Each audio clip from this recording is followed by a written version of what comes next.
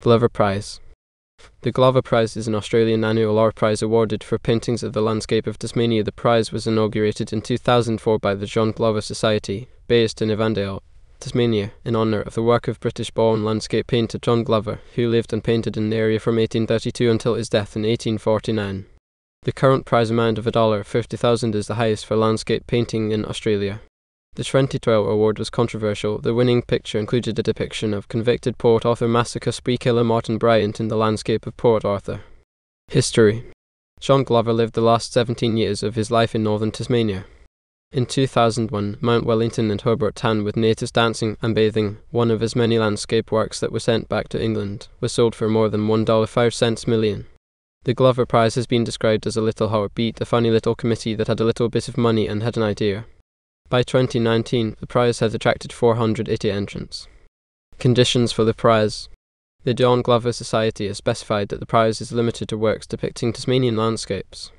2004 The winner of the inaugural prize was Longford based artist Michael McWilliams for the painting Bandicoot on a look bandicoots are small to medium sized terrestrial marsupials endemic to Australia. The painting now hangs in the departure lounge of Launceston Airport. His acrylics on linen workbrush blankets was awarded the $3 Era People's Choice 2012 Award.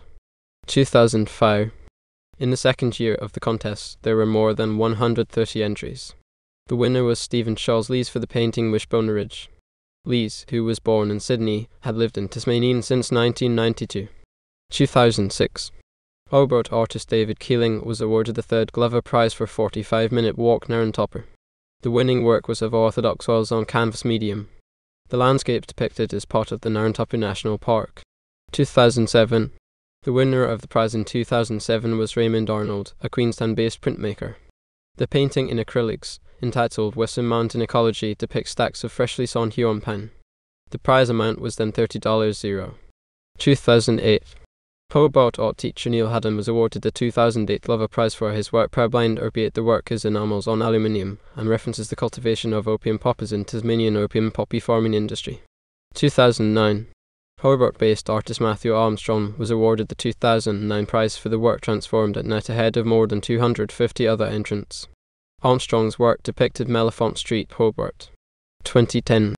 Queensland based artist Ian Waldron was selected from among 272 entries to become the first Indigenous Australian to win the prize with his work Walash Dihar Cockle Creek, a piece created on Tasmanian oak. Walash Dihar, in the language of the Aboriginal Tasmanians of that region, means Cockle Creek, a location in Tasmania that Waldron described as significant both archaeologically and as a site of positive exchange between Indigenous people and French mariners during the late 18th century. 2011 the 2011 prize was awarded to Launceston artist Josh Foley for G's Lookout. The all painting included pumice in its media. The painting depicts a disused building on the hill overlooking Cataract Gorge in Launceston.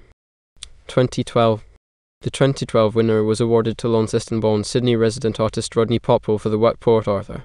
2013 The 2013 competition attracted 303 entrants. The prize was awarded to Sydney artist Janet Laurence for a work titled Plant's Eye View and depicted a close up view of Flora from the Tarkine region of northwest Tasmania. 2014. The 2014 prize had 42 finalists. The winning work was Looking South from the Labyrinth to Anti Olympus and Lake St. Cloud by New Norfolk born artist Mark Rodda. 2015. The winner of the 2015 prize was Nigel Hewitt for his work Woven, created using wood ash from the 2013 Dunalley bushfires. The work, chosen from 282 entries and 42 finalists, features a forest at NT Barrow in northern Tasmania. Hewitt divides his time between Perth, Western Australia, and Hobart, Tasmania. 2016. In 2016, the prize attracted more than 280 entries and was won by David Keeling, making him the first artist to win the prize twice. He also won the prize in 2006. Keeling's painting titled Low Tide, Soft Breeze depicted a coastal track in the Narawntapu National Park, an area that he often uses as a source of inspiration. 2017 2017 saw the Glover Prize awarded to Raymond Arnold, making him a two time winner of the award, having achieved this also in 2007. Arnold's work was titled La Barque de Dante slash Macquarie Harbour Party Barge. 2018 The 2018 Glover Prize was awarded to Halinka Orszulok for the work Ponies, a painting of playground equipment at Cataract Gorge, Launceston at night. Orszulok's work Wreck was one of the 35 finalists in the 2014 Sir John Sulman Prize.